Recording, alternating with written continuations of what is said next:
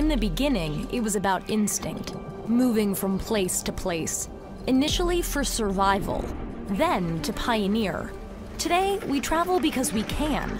On vacation to business meetings, from point A to point B isn't just a car ride. It's a train, it's a plane, and soon even a space flight away. But what about efficiency? There's a gap between imagination and actualization.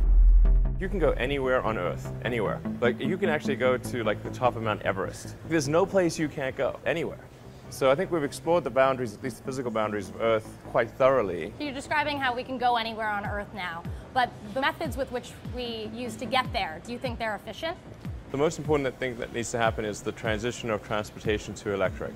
The ideal long distance transportation uh, mechanism is a supersonic vertical takeoff and landing electric jet. And then there's a special case of cities which have a lot of travel between them below about 500 miles of distance where um, I think the Hyperloop would be useful. It is a special case solution because once the distances get, get long, then the amount of time that an aircraft takes to as ascend and land, which is most of what it does in a 500 mile trip, that percentage declines. And then it's better to just use aircraft. I know that there are various companies that are trying to create uh, the Hyperloop, and uh, honestly, I think it's a lot easier than, than people think. The blueprints are pretty complicated.